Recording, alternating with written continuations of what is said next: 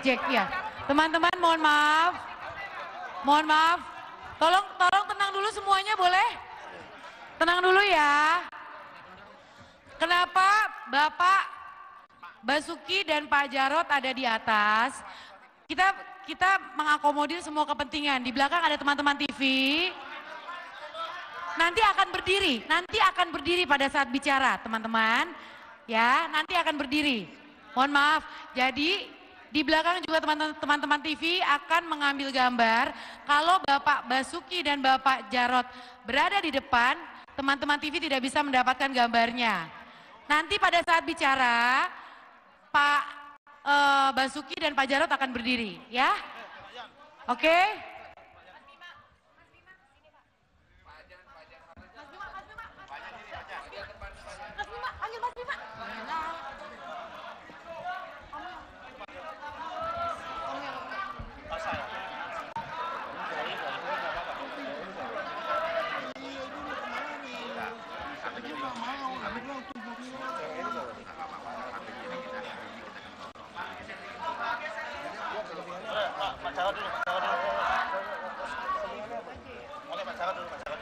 Assalamualaikum warahmatullahi wabarakatuh.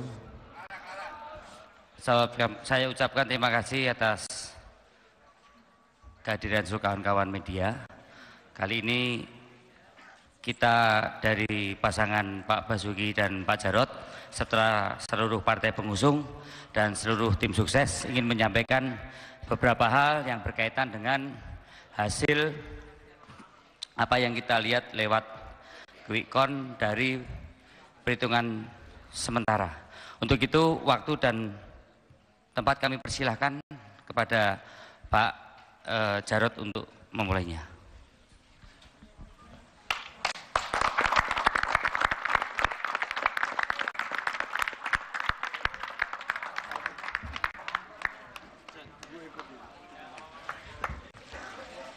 Assalamualaikum warahmatullahi wabarakatuh. Pada seluruh teman-teman media, pada seluruh warga Jakarta yang kami hormati, pada seluruh partai-partai pendukung, kader-kader partai, para relawan, dan semua pihak, wabil khusus pada pihak penyelenggara pilkada putaran kedua yang kita laksanakan pada hari ini, saya menyampaikan beberapa hal. Yang pertama, kita sudah melihat hasil perhitungan secara quick count. Dan tentunya nanti kita akan juga menunggu hasil penghitungan secara real count yang nanti akan diumumkan oleh KPU DKI Jakarta. Berdasarkan hasil penghitungan quick count, pasangan Pak Anies dan Pak Sandi unggul. Oleh sebab itu, saya menyampaikan ucapan selamat pada beliau sambil kita menunggu sambil kita menunggu nanti hasil penghitungan secara real count yang secara resmi akan dikeluarkan oleh KPU DKI Jakarta. Kami mengharap semua pihak untuk bisa menahan diri dan untuk bisa benar-benar menjaga rasa kebersamaan yang sudah terbangun selama ini dan kami betul-betul merasakan bagaimana perjuangan gigih dari seluruh kader-kader partai pendukung dan seluruh relawan serta masyarakat yang berusaha berjuang sampai akhir dan tadi sudah memberikan hak pilihnya dengan baik. Kami memberikan apresiasi kepada seluruh warga Jakarta yang telah memberikan suaranya dengan sangat baik dan mampu menciptakan Jakarta yang aman, damai. Yang kedua, Tentu saja di dalam hidup ini yang perlu kita terus pupuk dan kembangkan adalah ketenangan jiwa. jiwa yang tenang akan mampu menghilangkan seluruh dendam, seluruh amarah, nafsu angkara murka. Dan ketenangan jiwa ini dibutuhkan untuk benar-benar bagaimana dalam proses demokrasi ini semua pihak harus meningkatkan ketenangan jiwa masing-masing. Kita berharap dengan jiwa yang tenang, maka kita akan semakin fokus untuk melaksanakan dan melayani warga Jakarta dengan sebaik-baiknya. Ketenangan jiwa juga harus mampu meningkatkan, menguatkan batin kita masing-masing. Sehingga di dalam batin yang kuat itulah kita bisa memisahkan mana yang benar dan mana yang salah. Kita bisa memilah-milah mana yang hak dan mana yang batil. Oleh karena itu, kami berharap ketenangan jiwa dan kekuatan batin ini menjadi modal berharga bagi seluruh warga Jakarta untuk membantu membangun Jakarta ke depan lebih baik lagi. Kami berharap dan kami akan bekerja secara maksimal untuk menuntaskan berbagai macam fondasi dan program-program yang sudah kita kerjakan.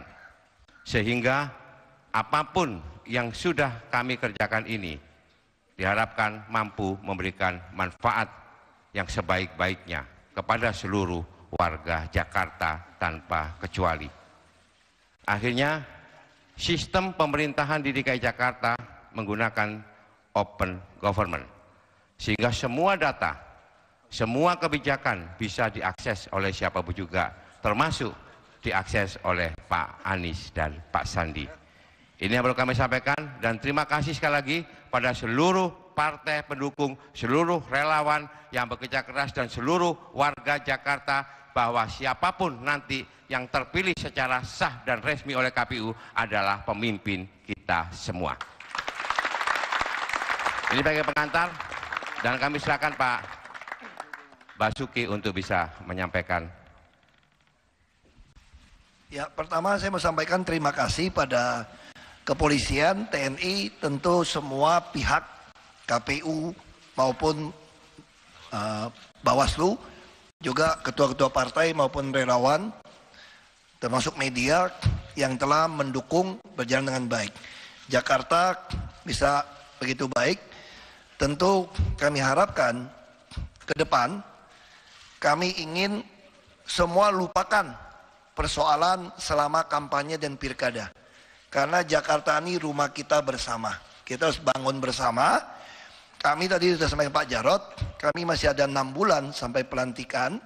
Kami akan bekerja dengan cepat, dengan baik, meletakkan dasar-dasar. Kami akan berusaha melunasi PR-PR yang janji kami. Tentu tidak mungkin selesai PR-PR itu. Nah kita harapkan nanti Pak Anies dan Pak Sandi bisa meneruskan dengan baik.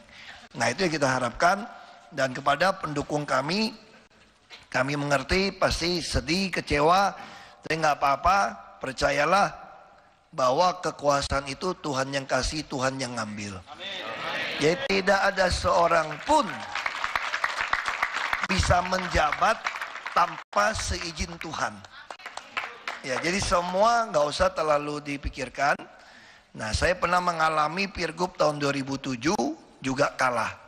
Makanya saya sampaikan waktu itu kepada pendukung saya, jangan sedih, Tuhan selalu tahu yang terbaik. Karena kekuasaan itu dari Tuhan. Eh aku jadi gubernur DKI kan. Kan lebih lumayan gitu ya. Nah yang penting saya kira ini sangat baik. Uh, kami akan bekerja dengan cepat untuk enam bulan. Kami akan terus bekerja, kami akan fokus mengerjakan PR tadi. Dan kami terbuka untuk Pak Anies dan Pak Sandi untuk minta data apa saja, open government. Kita ini bukan kayak presiden. Saya kira nggak ada bukan transisi atau apa. Ini bukan presiden. Ini ini pilkada karena PNS itu ada aturannya. PNS itu nggak bisa langsung masuk diganti. Apalagi ada peraturan setelah dilantik 6 sampai 8 bulan baru bisa diganti. Ya kita harapkan program-program kita akan kerjakan dengan cepat sehingga beban Pak Anies dan Pak Sandi bisa lebih ringan. dan juga banyak proyek-proyek bisa diresmikan. Nah saya kira itu terima kasih semua pihak. Selamat sekali lagi untuk Pak Anies dan Pak Sandi dan seluruh tim ses pendukung. Kita semua sama. Kita ingin Jakarta baik karena Jakarta rumah kita bersama. Terima kasih semua. Terima kasih Pak Basuki.